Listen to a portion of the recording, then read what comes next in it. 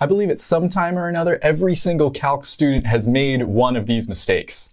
As a math tutor for about seven years, I've had the pleasure of seeing these mistakes many, many times. And so in this video, I want to go over five calculus mistakes that happen all the time so you can avoid them. Number one, and you knew this had to be up here if you've taken calculus before, it's doing the definition of the derivative formula in the wrong way.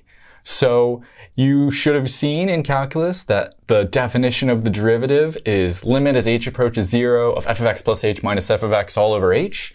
But instead of doing it that way, what students will do is not f of x plus h, but f of x plus h. You know, those are different things and they'll give you totally different answers. In fact, if you do it the wrong way, you're just going to get one for the derivative of anything, which makes absolutely no sense.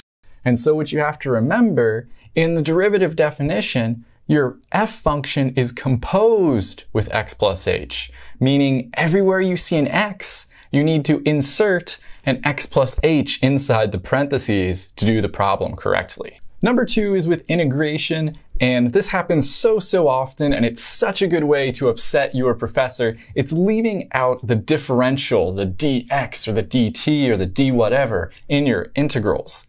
Notation is very important to mathematicians, and it's very important to mathematics.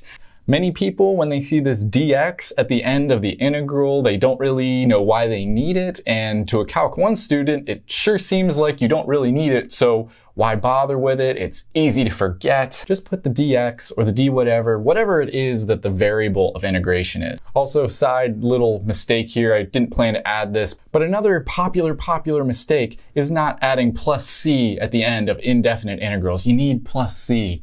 Mistake number three, and I'm not sure if this one is always a mistake or it's just the student is trying to get some points, but when you're doing derivatives of products or integration of products, instead of using the rules that you should, just integrating both of them individually or deriving both of them individually and multiplying them together. And so if you want to upset your calculus teacher, this is a really great mistake to make. Remember when you're differentiating or integrating products, you need to use the appropriate rule. For derivatives, that's the product rule. For integrals, that might be integration by parts. It's a little bit later. Or maybe a u substitution or just another technique. Mistake number four is when you're integrating 1 over x, everybody knows the antiderivative of 1 over x dx is ln of x, right? Right? Makes sense? No, it's ln absolute value of x. You need the absolute value. Now, this might not seem like a big deal, and teachers might not even always take points off for this, but I'll tell you what, it's going to be a big deal if you have to evaluate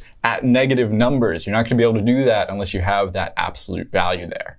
I guess that's not always a Calc 1 mistake. Some teachers teach that in Calc 2. I'm going to leave it. I'm going to count it. Now, mistake number five, of course, is not watching more Bri the Math Guy videos. I'm just kidding, that's a cop out. My fifth mistake is dropping the limit notation. When you're doing limits, especially in Calc 1, you have to go through many different steps sometimes, many different algebraic steps, and until you actually evaluate the limit, until you get equals a number or does not exist or whatever, you need to be writing limit as x approaches or limit as t approaches every single time. And it's so easy to just not bother with that anymore. Just stop bothering. It's, it's a pain. It's a lot to write.